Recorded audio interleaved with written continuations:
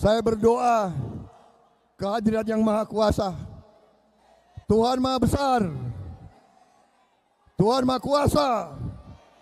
Berilah kekuatan kepada kami. Agar kami memiliki kemampuan, kearifan, kecerdasan, keberanian, kejujuran, keikhlasan untuk melindungi rakyat Indonesia, untuk menghilangkan kemiskinan dari bumi Indonesia, untuk memberi makan kepada mereka yang susah makan,